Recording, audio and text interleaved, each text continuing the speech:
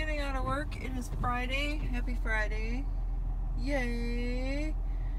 Um, I'll give you a different view tonight and give you the view of the ride home. It's not real exciting. You've seen it before. Although I think this is my first ride home video um, since I started doing this. Yay! Good lucky you. So actually, there was something I thought of talking about tonight on the way home. And I had a rather large sale that um, I think it sold right around Thanksgiving. And we're talking over a thousand dollars here. I shipped the item, the item was received. Customer hasn't left me feedback yet.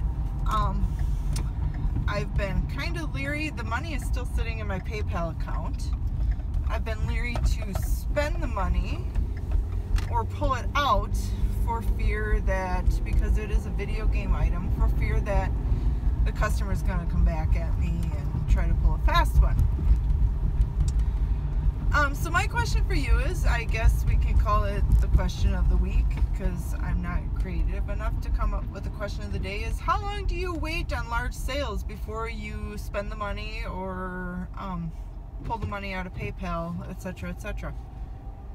Give me your answer below. And that's all I have. Talk to you later. Um, if I can talk Kennedy into doing a video tonight, I will. I've been trying to figure out how to do some carpool karaoke with her because I think that would be adorable. Um, I'll work on that. Talk to you later. Bye.